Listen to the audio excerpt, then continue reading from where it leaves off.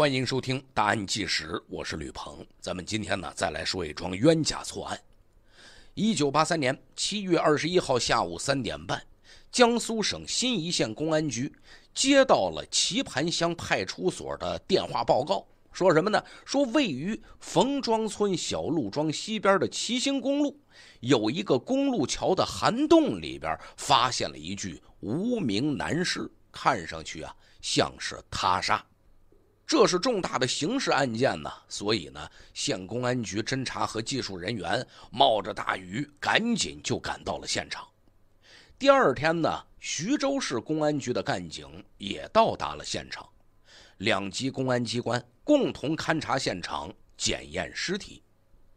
经过勘察，得出了一些结论：现场的公路啊是西南东北走向的，横穿公路的这个涵洞呢。因为位置比较低啊，所以常年积水。七月二十一号早上，有村民在涵洞外边发现这具男尸啊，是漂浮在水里的。在这个涵洞里面呢，还打捞出了一把柄长五十二厘米、刃长二十一厘米的镰刀。在涵洞外边那条河的东岸边上，还发现了一条旧的蓝色的裤头。经过尸体检验，死者是男性，身高在一米六左右，已经高度腐败，全身的表皮和指甲全部脱落了，脸部的软组织也是缺损的，所以就是长什么模样看不出来了，已经是一片模模糊糊的了。那么在头的顶枕部头皮啊，还粘在头骨上，上面呢只有少量的头发，死者下颌骨。正前正中的那个地方和右下颌角那儿呈横断性的骨折脱落，死者右腋下边有两处创口，肚脐上边有一处创口，这处创口啊能够直达肾脏。男性的性器官阴茎皮肤是剥离的，一直剥离到了龟头那儿。死者右肩胛下边内侧有一个铜钱大小的陈旧性的伤疤。死者的胃内容物差不多一共是五百克，主食呢是那种稀糊状的了。当然，这不代表它就一定是什么喝的粥啊、喝的汤啊，不是，是你吃完吃进去之后啊，它就成了粥状了。里面还有韭菜、辣椒等食物，血型呢是 B 型。勘查和尸检结束之后，警方呢立刻连夜召开会议，分析案情，就初步判断。从尸体损伤等情况来看呢，应该是奸情杀人。为什么呢？很关键的一点，死者阴茎的皮肤是剥离的。从第二点来看呢，桥涵洞里边啊长期积水，并且呢又在公路上，这不可能是杀人的第一现场，而应该是抛尸现场。第三点。从尸体腐败程度来看，死亡时间距离发现的时间应该是四到五天。第四点，死者的年龄应该是二十五岁左右，身强力壮的，但是呢，身体创伤比较多，又被遗失了，这说明罪犯很残忍，甚至有可能不是第一次作案了。这案子这是人命关天呐，第一要务就是确定尸源。所以县公安局呢，以棋盘乡为重点，要求近期有家人去向不明的，对吧？家里人失踪的啊，都前往辨认尸体。来辨认的人呢，还真不少。大家呀，都是哭哭啼啼的来，一看，哎，他不像啊，我儿子比这高啊，我丈夫比这胖。唯独有一个村民，佃户村的村民黄某，先后来辨认了两次。第一回来了呀，有点拿不准，这身高这体型有点像，可是呢也不确定就是。第二回又来了，这才说：“哎呀，死的呀，这是我三儿子呀，三宝啊！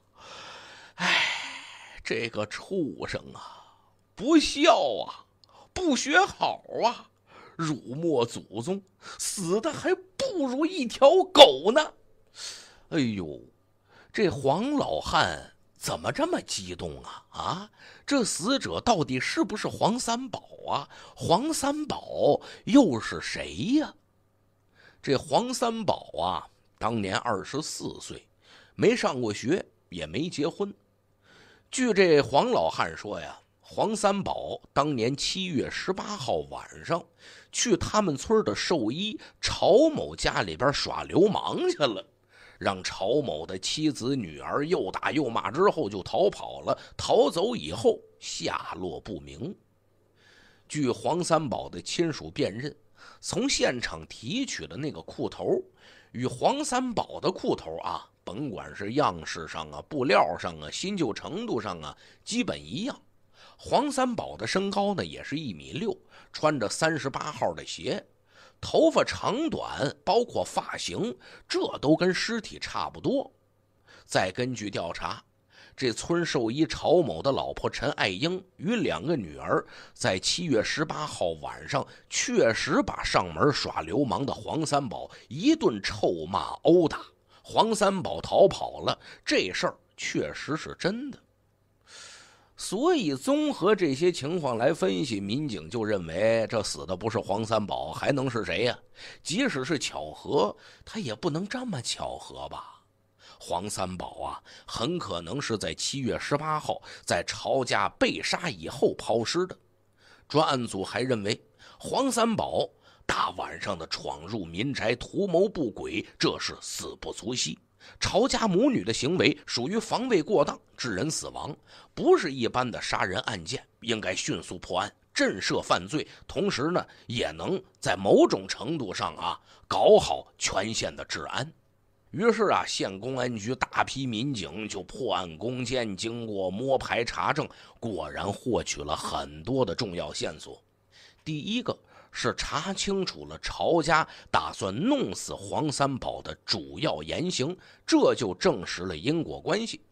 曹家母女呢，先后几次找到黄家，就指责黄三宝他爸爸黄老汉：“你家小三子不怀好意，跑到我家耍流氓，如果不改，我们就不饶他了。”甚至陈爱英曾经对派出所的民警说过。公家要不处理这事儿啊，我们就把他砸死。哎，这是得到的第一条线索。那么第二个线索是什么呢？曹家人呢比较反常。经过调查，七月十八号在兽医站工作的曹某并不在家。第二天上午回家之后啊，全家人几天那是大门不出二门不迈的，并且两回给大女儿在部队的未婚夫发电报，让他赶紧回来。同时呢，两个女儿啊原本住在西堂屋里边，后来呢就搬到了东堂屋，跟他们的母亲住在一个屋子里面，而西堂屋呢一直在那儿紧锁着，这也十分可疑。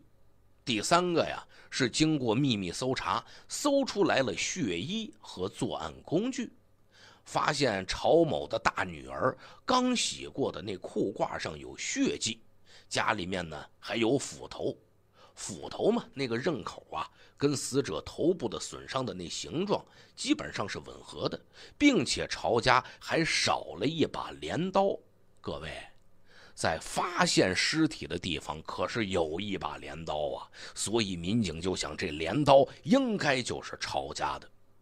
据此，专案组判断是陈爱英母女在防卫反抗之中杀死了黄三宝，而曹寿一呢，可能参与了毁容、遗失等活动，于是对曹家的三个人拘留审查。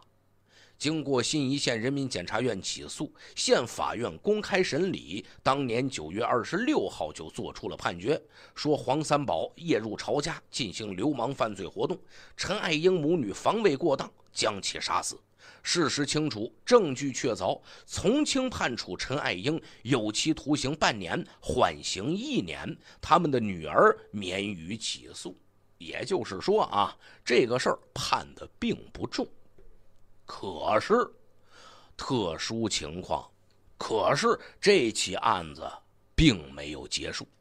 县法院宣判，仅仅八天之后，也就是当年十月四号，那个大家都认为死了的黄三宝奇迹般的出现了，并且由他的家属陪着到县公安局投案自首。那么，这又是怎么回事呢？原来呀，七月八号晚上，黄三宝八门就进入了曹家女儿的卧室，打算强奸，被曹家母女这一顿骂，这一顿打呀。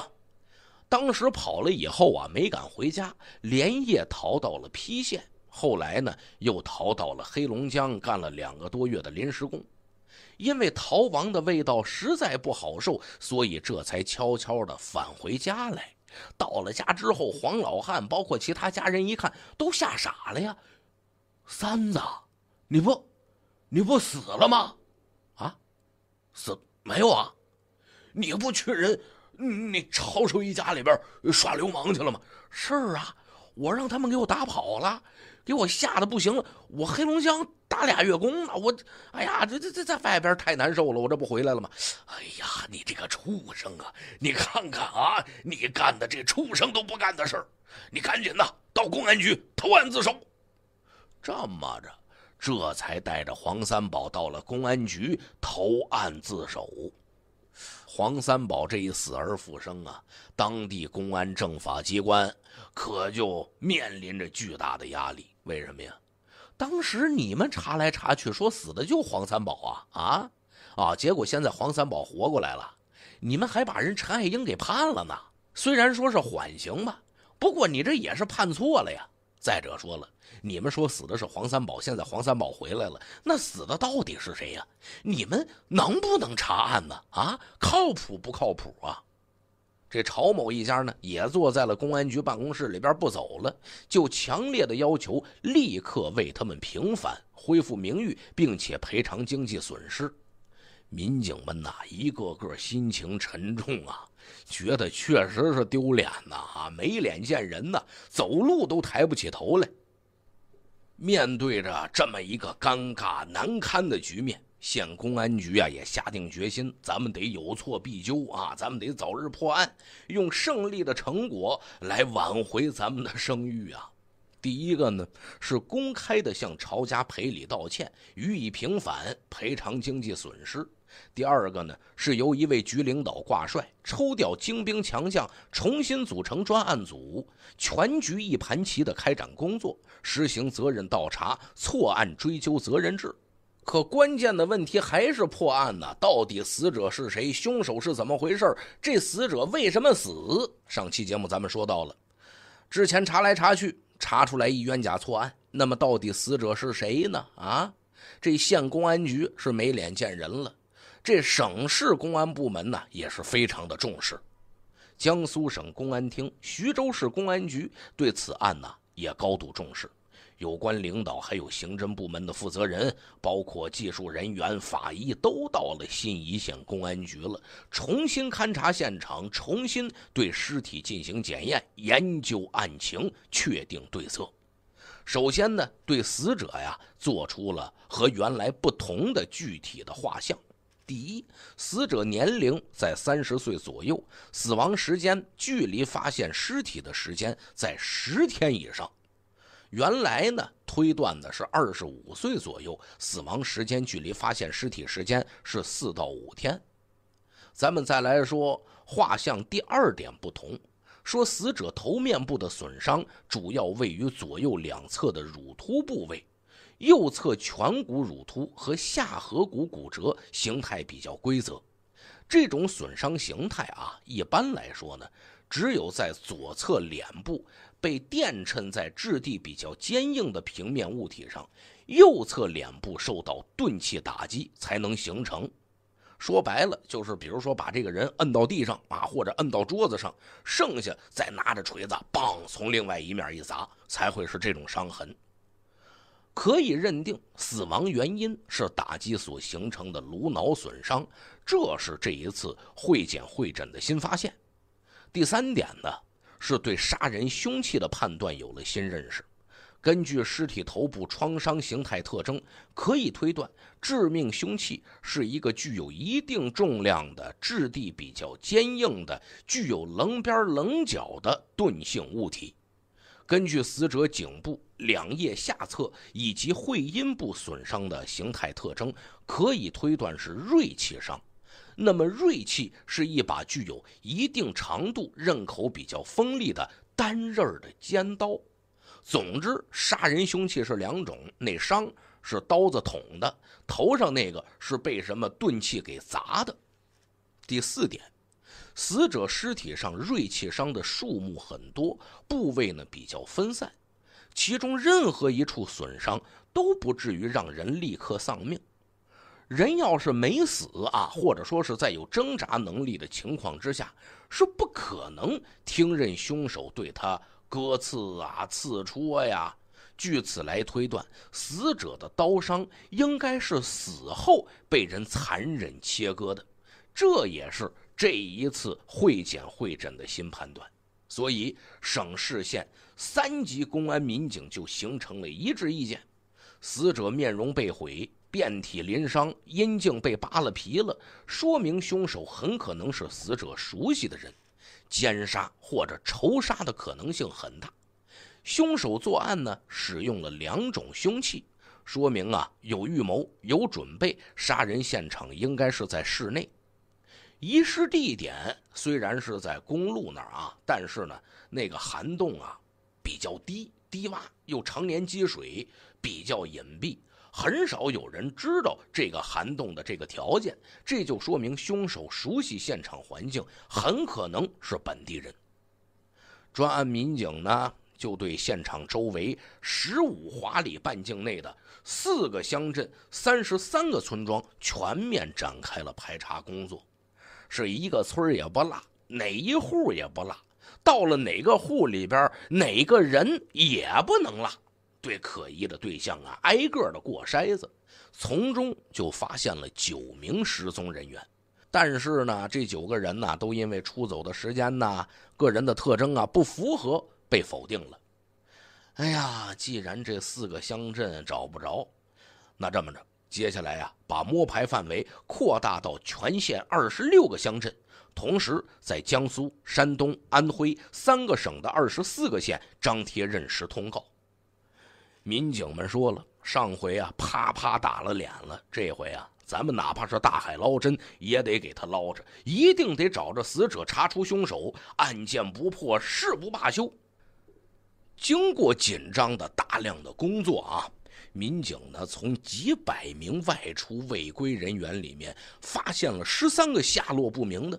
经过挨个的过筛查证，否定了十二个，只剩下了一个人疑点最多。这个人叫王明凯。那么，他会不会就是死者呢？王明凯家住棋盘乡筛子村元须村四队，距现场啊差不多是二十里地左右。左邻右舍，包括亲属，都提供了王明凯的体貌特征。他的体貌特征和那个涵洞里面的死者来进行比较分析之后，认为死者很有可能就是王明凯。为什么呢？王明凯身高也是一米六，王明凯呢手指又尖又细，就我们俗话说的那鸡爪子手啊，这跟死者呢也是相似的。第三，王明凯穿三十八号的鞋，脚长和死者也差不多。第四，王明凯失踪之前留着那种高装的平头，发型发长跟死者也比较接近。第五，王明凯右背部有一个疮疤，大小、形状、位置和那个死者尸体上的我们之前说的那铜钱大小的疤呀，基本上相同。第六，王明凯当年呢是三十八岁，与法医检验推断的死者的年龄是相近的。第七，王明凯失踪时间是七月八号，与法医尸检时候推断的死亡时间也比较接近。第八，王明凯失踪之前穿的旧裤头，跟现场提取的裤头样式啊、颜色呀、新旧程度啊，也基本相同。那么，王明凯是不是死者呢？有了上回黄三宝的经验了啊，这也是教训。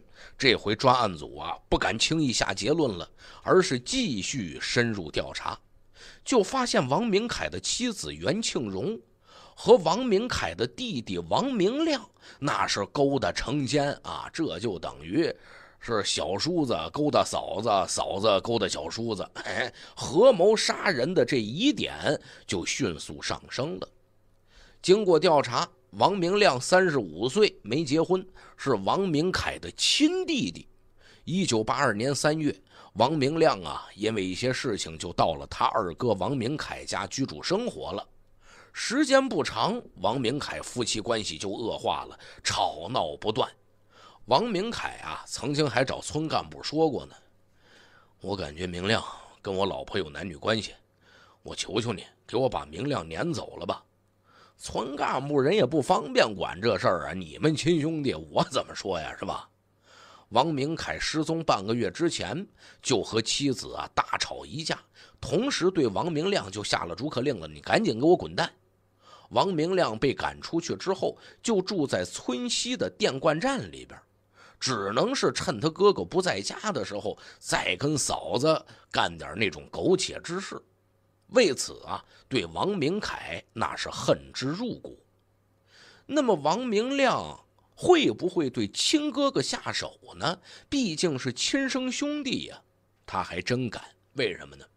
有一回啊，王明亮跟他们的大哥借钱，大哥呢没借给他，他就把毒药扔进了大哥的猪圈里边。除了这事儿，干过的缺德事儿多了去了。他趁着堂哥王明友劳改的这个机会，就把王明友的妻子啊给拐卖了。王明凯失踪之后，这王明亮可就跟他嫂子住一块儿去了，那是有说有笑啊，这就跟夫妻似的，比一般的夫妻呀还要腻乎，还要甜蜜。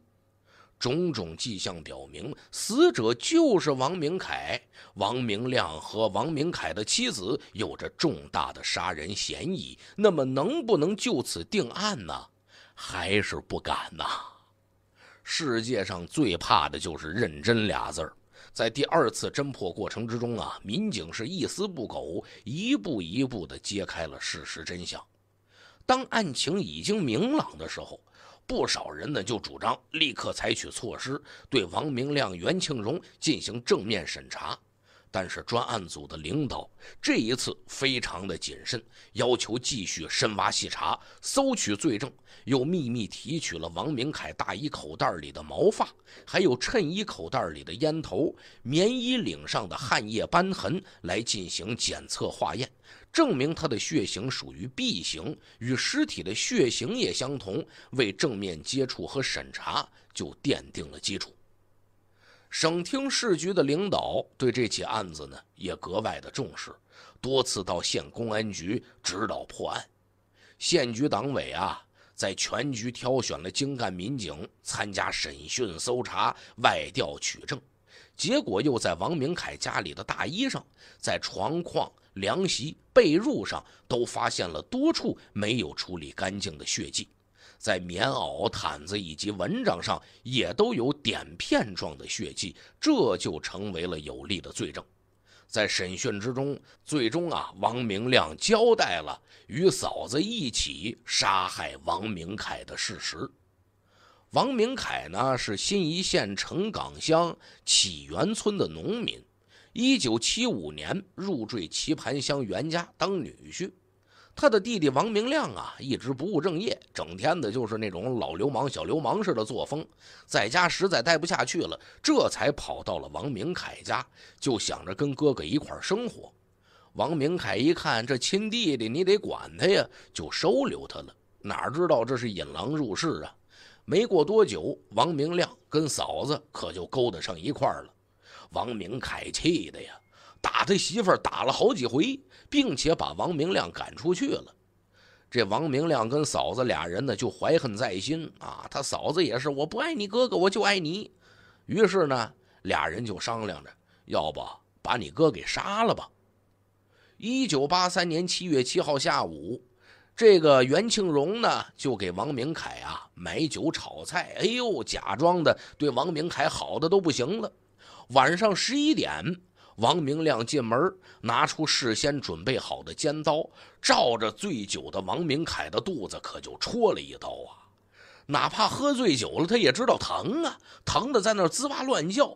王明亮呢，从门后拿了一把前边的是那种扁方形的大铁棍子，照着王明凯右耳朵部位狠狠的就砸了几下。杀人以后啊，这俩人用一条红色的棉毯把尸体包住了，用平板车就拉到了那个涵洞那儿。为了让人辨认不出死者，又用石头、刀子把王明凯的脸呢弄得是血肉模糊，就毁了容了。这样才把尸体扔进涵洞里边的水里。这是杀亲惨案呐！啊，抛尸返回路上，王明亮。把包裹尸体的毯子、裤子扔进了距离涵洞不远处的一口机井里。到家以后呢，又跟嫂子一块把各处的血迹啊都洗干净了，还订立了攻守同盟，统一口径，就说王明凯到山东买船去了。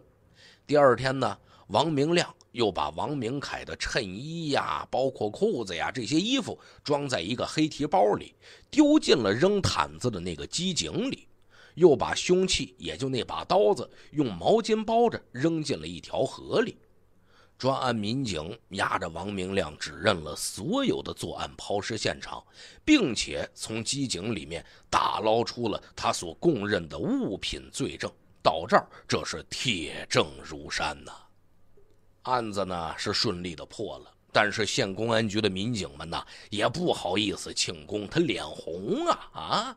为什么这起案子一开始出现了那么大的岔头？这和他们在工作之中的一些失误那是脱不了关系的呀。第一，第一次现场的时候，现场勘查和尸体检验工作做的不深不细不全面。为什么人省市专家来了一看就知道这死者应该是死亡五到十天？为什么县里面公安局的法医一看就是三到五天呢？对吧？包括一些伤痕的鉴定，包括一些死亡特征的鉴定，那都出现了前后矛盾的地方啊。另外，很重要的一点是什么呢？在调查访问过程之中，偏听偏信，就是我脑子之中已经有了对这个案情的一个大致判断了。再去搜集线索的时候，再去寻找证据的时候，都是从自己主观的对这个案件的判断之上去下手，先入为主了，这就缺乏了实事求是的态度。第三，在审问嫌疑人的时候，也是带着这种主观性，这就导致口供里面很多细节出现问题了，并没有得到重视。在接触询问曹家四口人的时候，办案人员呢也是带着这种反正是防卫过当的哎这种理念问话，在曹家人都不承认杀人的情况之下，又采取了诱供的错误方法，结果呢，除了曹寿一概不承认之外。陈爱英母女在诱供之下，就交代了杀人毁容一事的经过。尽管供词破绽很多，但还是他们采取了那种求同存异的这种心理，归档入卷了。我们说呀，这起案子得亏是黄三宝后来回来，黄三宝后来去投案自首了。如果不是呢，那是不是陈爱英母女就要永远的蒙冤下去了呢？行了，这起案子呀。就为您讲到这儿，更多内容下期节目再会。欢迎收听《大案纪实》，我是吕鹏。本期节目我们来讲述吉林屠夫连环杀人案，原作者中山王景。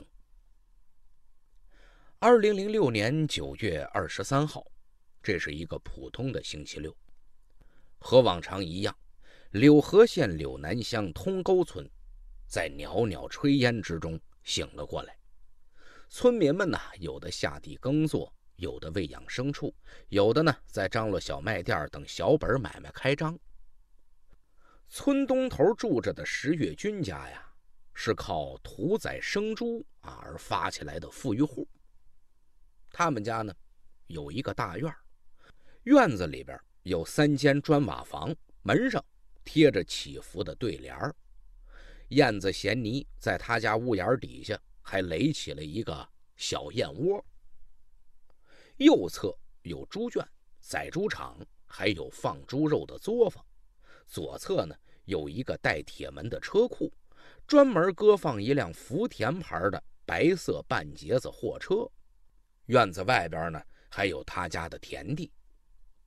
一清早起来，石月军和平时一样，开着车到和平乡大立沟村。买了四头生猪，准备周日到通化县干沟乡赶集卖猪肉。他把猪啊拉回到自家的圈里边，四头肥猪冲他直哼哼啊。平时呢，他会特别兴奋地操起刀，一边哼着歌，一边把这猪杀死、褪毛、开膛。他生平两个爱好，一个是爱听歌，一个是杀猪。歌啊，能给他精神上的满足；杀猪呢，能让他的生活得以保障，让一家四口过上好日子。石月军十八岁辍学之后。就在驻地附近的村屯啊，以杀猪卖猪为生。可是当天的他却异常的烦躁，这烦躁四个月之前就像无数的蚯蚓在咬着他的心。月初的时候，通化县二密镇个体屠宰户李某承包了二密镇屠宰点，按有关部门规定，周围邻近村子的肉贩子。都得到二密镇屠宰点屠宰检疫之后，才允许到市场销售。因为到屠宰点杀猪啊，得交屠宰费跟检疫费，一头猪呢，一共得交六十三块钱。石月军这心里边啊，就非常的不满。更令他不能接受的是李某这个人。用石月军的话来说，李某经常高收费，还欺负人。经过他们盘剥一圈下来，这一头猪也挣不了多少钱。可是不去屠宰点屠宰吧，他又惹不起李某。开始呢，他为了自己损失少一点，每次去二密镇屠宰点的时候，都先在家杀一头猪，然后带着肉再拉一头猪到屠宰点宰杀检疫，这样呢，能省下一头猪的屠宰检疫费。他想蒙混过关，可是李某不让。有一回啊，石月军又带着在家杀好的猪肉跟一头猪到屠宰点的时候，被李某发现了。李某就把他的猪肉没收了，还要罚他三万到四万块钱。后来他通过熟人好说歹说，交了几千块钱的罚款。本来就视钱如命的石月军，这一下子可气坏了，就产生了杀死李某的想法。复仇的怒火烧的是饭不思，茶不饮，整天的烦躁不安。家人呢也感到奇怪，有点担心，领着他呀就去看了看心理医生。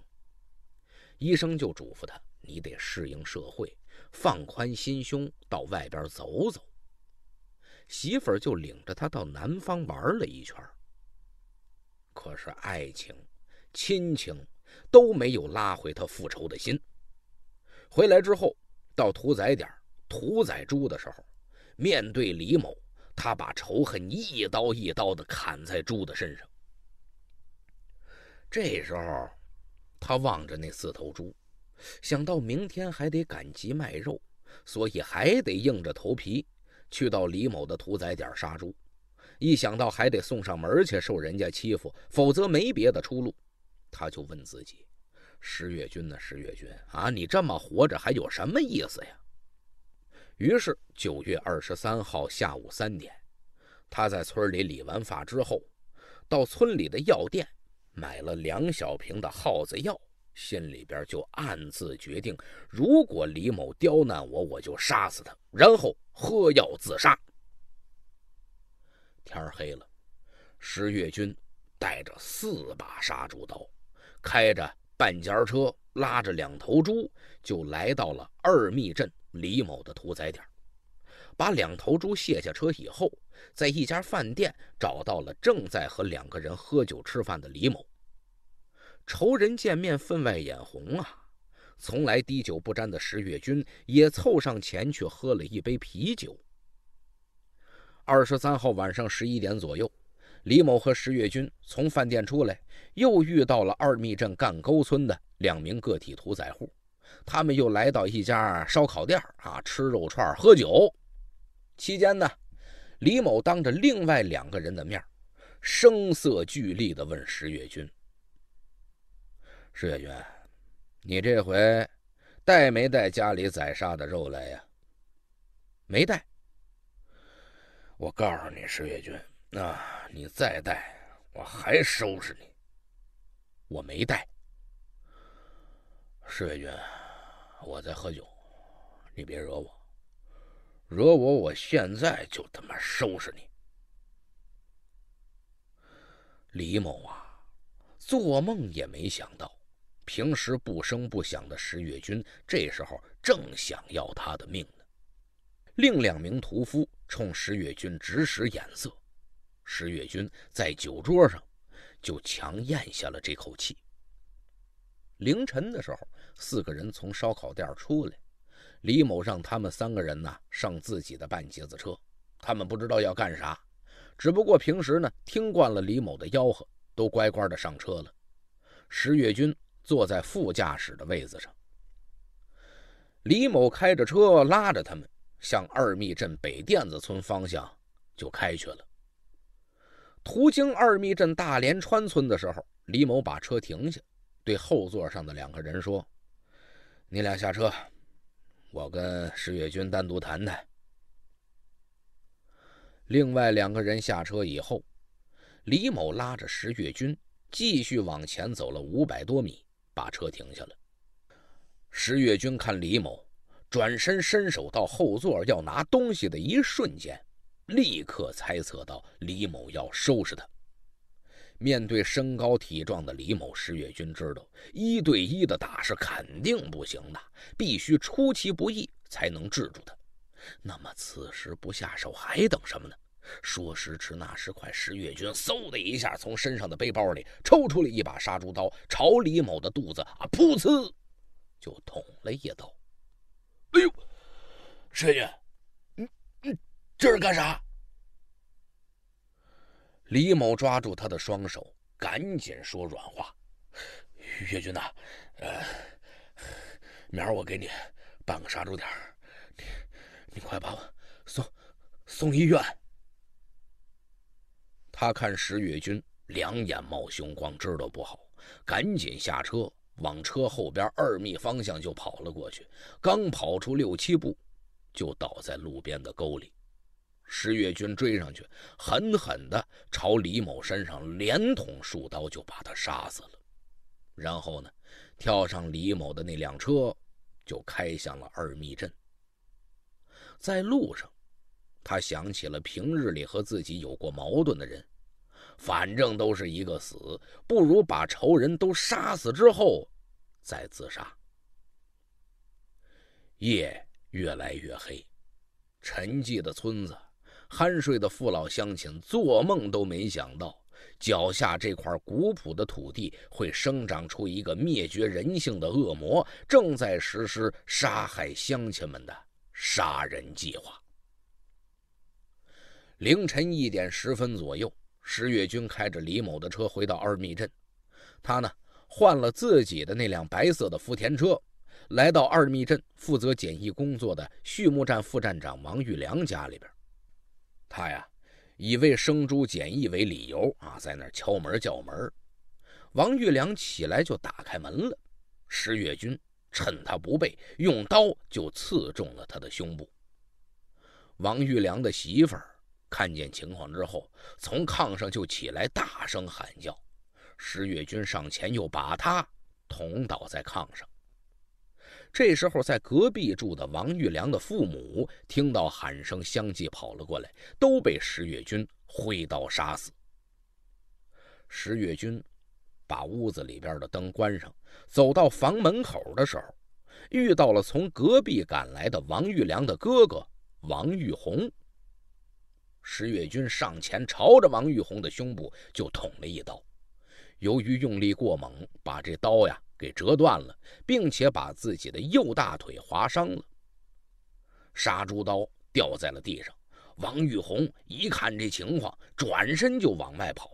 石月军随后紧追，可是没追上。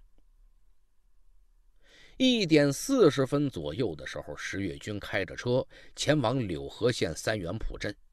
因为在十八年之前，当时只有十八岁的他，到三元浦镇于洪勇家的小卖部，想偷个面包吃，没等拿到手呢，就被于家发现了。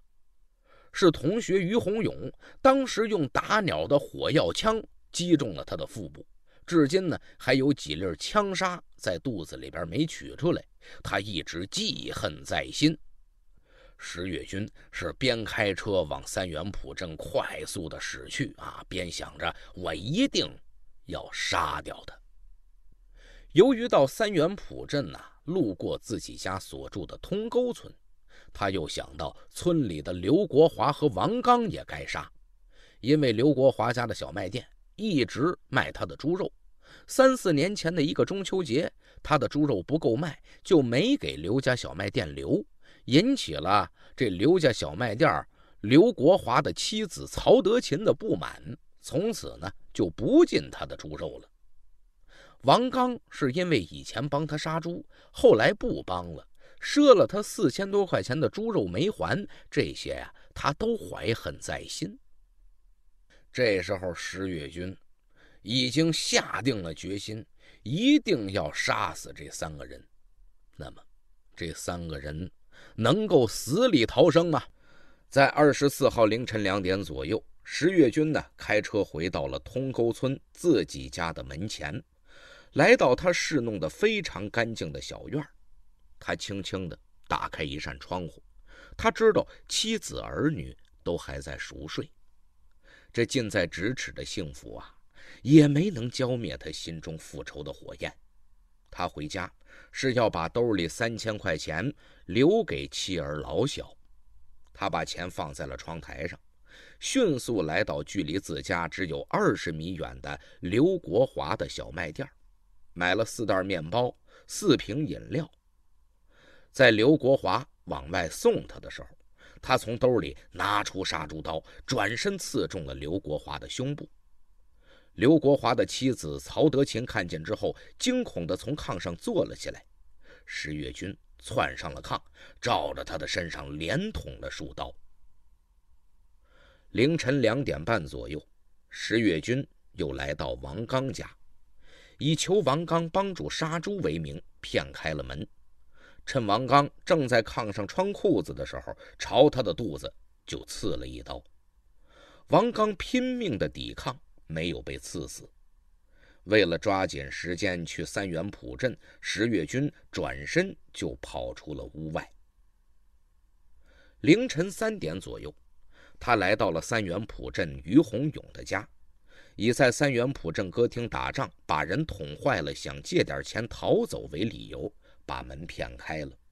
趁于洪勇不备，抽刀刺向了他的胸部。于洪勇啊！边和他厮打在一起，边让媳妇儿快跑。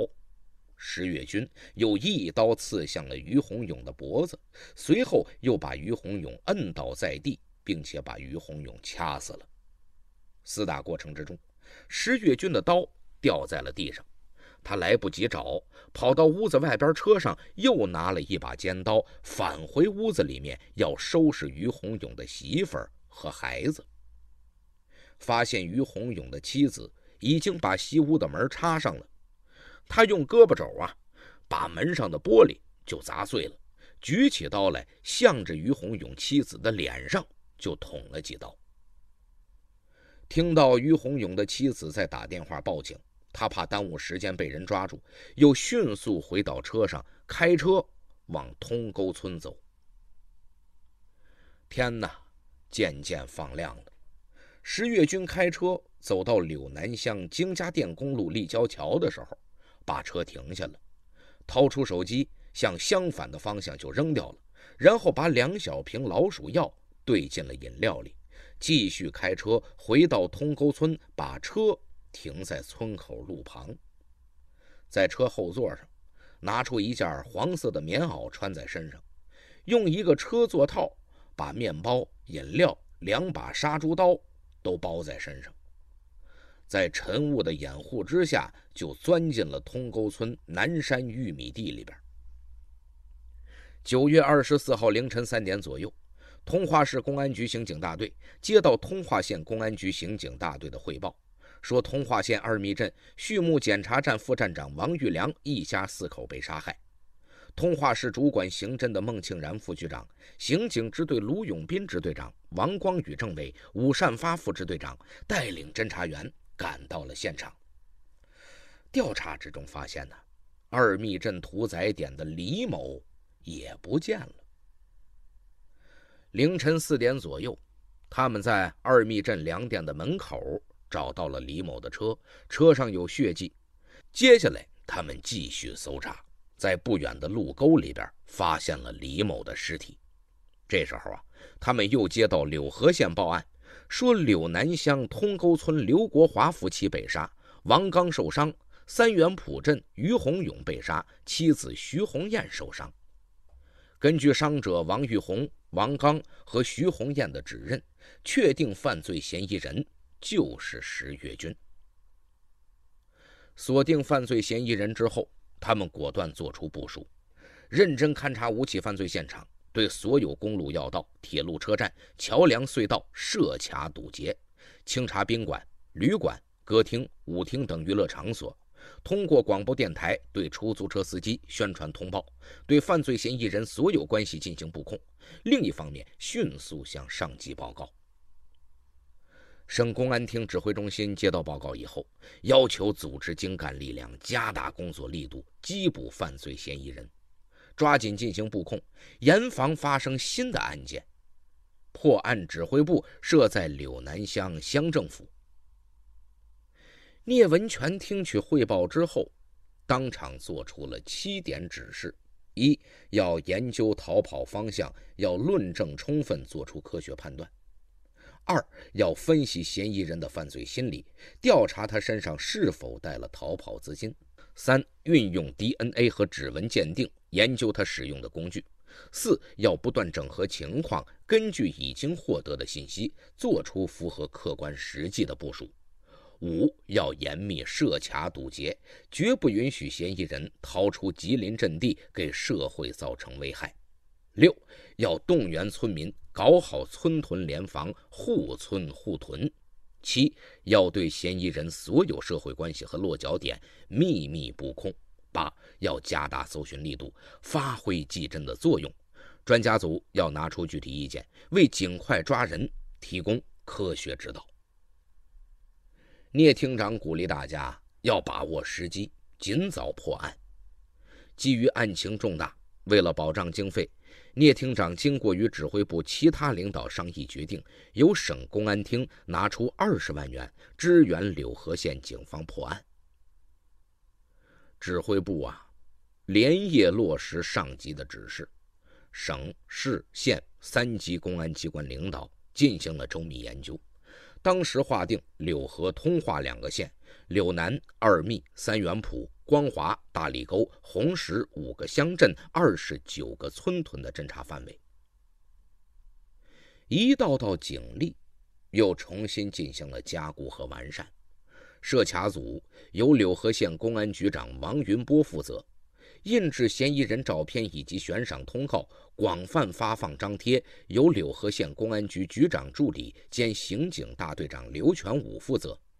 犯罪嫌疑人十九个社会关系调查布控，由柳河县公安局政委杨海波、副局长邓万军、李万军、宋涛负责。现场勘查组由通化市公安局刑警支队支队长卢永斌、政委王光宇负责。搜山组由通化市公安局副局长王云鹏负责。各县情况调度组由通化市公安局副局长孟庆然负责，省公安厅专家组王永林等负责认真跟嫌疑人家属谈话，了解整个过程的真实情节，为侦破此案提供方向性依据。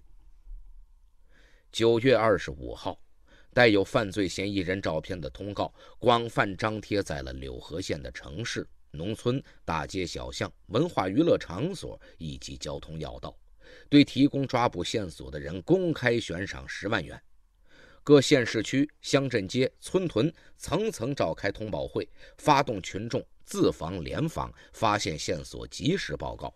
省市县三级电视台全天候播出滚动字幕，广播电台和省内各家报社分别刊发通缉令和嫌疑人照片以及悬赏十万元的消息。互联网上铺天盖地的也都是公安部挂牌督办的 A 级逃犯通缉令。警车发动了，摩托车发动了，民警巡逻、设卡、堵截、走访、排查，他们的身影不知疲倦的在这块山区的土地上来回穿梭着。天色呀，不知不觉就暗下来了。秋风刮得玉米地里的叶子哗啦哗啦的响。石月军趴在这片玉米地里等太阳落山，已经等了一天了。饭量本来就大的他，已经把在杀刘国华的时候买的四袋面包都吃光了，肚子也饿了。于是他悄悄走出了玉米地，来到通沟村南沟里山上严红路家的空房。他见房门上着锁，就把后窗户撬开，钻进了屋子里面，然后再把窗户在里面用绳子绑好了。他在这儿啊，足足待了两天。严家人呢，由于听从了乡党委召开大会的时候强调的增强自防意识，这两天没敢上山，也就躲过了一劫。这两天的时间里，石月军。把严家能吃的东西都吃了，连铁锹把、斧子把、镰刀把都当柴火烧了。二十六号下午，他发现有人上来搜山，觉得这个住处不安全，但他不想马上喝掉加了耗子药的饮料，因为他还有几个仇人没杀死呢。九月二十七号早上六点左右，他饥肠辘辘地出发了，沿着山路。来到了南山孙红莲家的小房子，打算弄点吃的。来到小房子跟前儿，他发现孙红莲夫妻在家呢。这夫妻俩呀，本应该也像老严家那样躲过这两天，因为这期间呢，公安机关呢已经将防范工作深入到了每个村屯，防范意识呢已经家喻户晓。当时家里人呢。也劝孙红莲夫妻躲过这几天再上山，可是老两口呢，舍不得让家里的牛饿着，就上山了。哪成想和杀人恶魔碰了一个正着。这时候，孙红莲也见到了石月军，就跟他说：“哎呀，你怎么这么糊涂啊？啊，杀了那么多人，你想要啥拿啥，你你可别杀我呀！”石月军就问孙红莲：“有没有吃的？”孙红莲赶紧给他拿了几袋面包和榨菜。可是灭绝人性的石月军，怕孙红莲夫妇报案，在接过面包和榨菜之后，抽出随身携带的杀猪刀，刺向了孙红莲。孙红莲的妻子刘继芬看见这情况之后，抡起一把砍柴斧子，砍向了石月军的头部。石月军一躲，斧头啊，还是把他脸上给划伤了。石月军上前抢过斧子，照着被刺倒在地上的孙红莲头部连着砍了两斧子。刘继芬赶紧往外跑过去，石月军追上去，把他砍死在那儿，然后把尸体拖到了距离住房五十米远的沟塘里边。九月二十七号下午三点。指挥部接到报告，柳南乡通沟村独居山中的村民孙红莲夫妇被杀。法医进行尸检之后，发现犯罪嫌疑人使用的工具是斧子。现场勘查的时候，还看到米饭等食物。专家分析，嫌疑人呐，很可能是由于饥饿找食物吃，然后杀人灭口。侦查员在山上走访的时候，又发现了严红路家，找到严红路。让他回家一看，他家的猪油、咸鸭蛋等等都被人吃光了，还丢了迷彩服、鸭舌帽和鞋子。最主要的是，侦查员在现场发现了石月军半截子车上的坐垫套。法医在一个小盆上提取了一枚指纹，此前恰好通化市公安局给居民办理第二代身份证的时候，为所有的居民建立了指纹档案。这枚指纹经过检验，正是石月军所留下的，因此认定此案仍是石月军所为。指挥部决定并案侦查。由于严红禄家的炕还是热的，证明石越军呢没有走远。于是指挥官在附近重点区域画出了二百一十四平方公里的侦查范围。那么这一次石越军还能够逃之夭夭吗？专案组的侦查员呢，根据种种的线索，最终呢划定了一个二百一十四平方公里的侦察范围。当年九月二十七号下午，聂文全厅长赶赴现场指挥部。在北京参加会议的史立副厅长开完会之后，连夜赶回了长春，于九月二十八号凌晨赶到了现场指挥部。紧接着，总指挥聂文全决定调兵遣将，武警吉林省总队总队长陈明乐亲自调动一千名武警参加抓捕。白山市、辽源市公安局各出动五百名民警，分别由局长刘凤山、任建波带队应战。通化市公安局出动两千名民警，梅河口市公安局出动三百多名民警，长春市、吉林市公安局也提供了强有力的设备和人员支持。通化市委市政府组织动员民兵预备役和群众骨干，协助公安机关开展搜捕工作。一支由公安民警、武警官兵、民兵预备役和当地群众组成的一万两千余人的搜捕队伍，由李东泰、史立副厅长两位前线指挥，分别负责围捕和侦察指挥工作，进行了大面积的拉网式搜山、设卡和蹲守。吉林省通信管理局、吉林省移动、联通、通讯、卫通公司为案件侦破。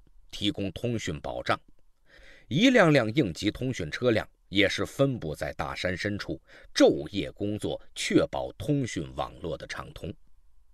九月二十八号下午四点，聂文全和通化市委高广斌书记组织召开有通化市各县市委书记参加的会议，对围捕工作做出了部署，特别是对加强安全防范工作提出了明确的要求。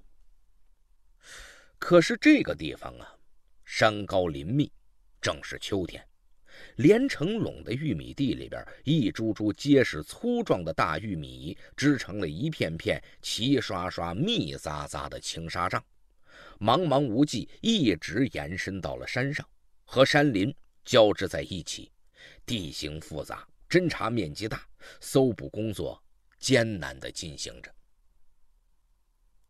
十月军。自从九月二十七号杀了孙红莲夫妇从山上下来之后，本来打算呢再潜入通沟村去杀多年前打过他的一个村民，可是他发现公路上有警察、武警，还有警犬，又看到各个路口都有人把守，觉得无从下手，只好顺原路就回去了。当他沿着铁路和公路之间的大河走到吕家堡前的玉米地的时候，看见两辆警车驶了过来，他呀吓得一头就钻进了玉米地里边，没敢再动。饿了就掰生玉米吃，渴了就喝那小水沟里边的水。九月二十九号凌晨三点。狗急跳墙的石月军翻墙窜入了赵玉福家的院子里，想找吃的，没找着，在玉米地里边待的鞋呀都湿透了。他换上了在严红路家偷来的鞋，躲在里边休息。当天早上五点左右，早早起床的赵玉福看到自己家空房门前有双陌生人的鞋，他就知道家里进来人了。他拿起了一个叉子，就走到了这个空房前边。石月军躲在暗处，早就看见赵玉福了。趁赵玉福不注意，挥起杀猪刀，把赵玉福就捅死了。赵玉福的妻子管玉梅听见动静，跑出屋来。石月军一回身，把他也杀死了。这时候啊，邻居刘金平拿着木棒。一棒子就打在石月军的头上，杀红眼的石月军向刘金平连捅几刀，把刘金平就刺伤了。又将刚从屋子里跑出来的赵家的孙子赵金凯杀死了。这时候啊，石月军觉得自己的行踪已经彻底暴露了，没有办法逃出警方的包围圈，于是从背包里拿出加了耗子药的饮料就喝下了，就窜进了吕家堡村南边的玉米地。九月二十九号早上的五点五十分，指挥部又接到报告，说早上五点四十五分，柳南乡吕家堡村三名村民被石月军杀死，一人在搏斗中受伤。发现杀人恶魔石月军的踪迹之后，指挥部总指挥聂文全立即命令组织力量开展集中围捕，缩小包围圈，疏散村民，并且采取合围。追踪、搜查、设伏相结合的战术，全力开展缉捕行动，同时对附近村民进行疏散，强化防范措施。当天上午十一点三十分，时任吉林省委副书记唐宪强赶赴现场，代表时任省委书记王云坤、时任省长王民向全体参战公安民警和武警官兵表示慰问。九月二十九号中午十二点左右，武警战士排查到柳河县柳南乡吕家堡村通梅一级公路附近玉米地的时候，突然发现一个人在玉米地里面匍匐着。武警战士持枪上前核实，这个人呐惊慌失措，起身就跑。武警战士追出不到十米，就将他擒获了。经过警方确认。这个人正是杀人恶魔石月军，警方当场从他身上搜出来尖刀一把。杀人恶魔石月军被抓获的消息不胫而走，当地的老百姓呢是奔走相告，自发的组织起来，把押解石月军的道路围得水泄不通，纷纷的鼓掌庆贺，拍手称快。一些曾经受到惊吓的老百姓啊。是喜极而泣。二零零六年十一月二十五号，吉林省通化市中级人民法院对石月军特大杀人案开庭审理，以故意杀人罪、抢劫罪判处被告人石月军死刑，剥夺政治权利终身。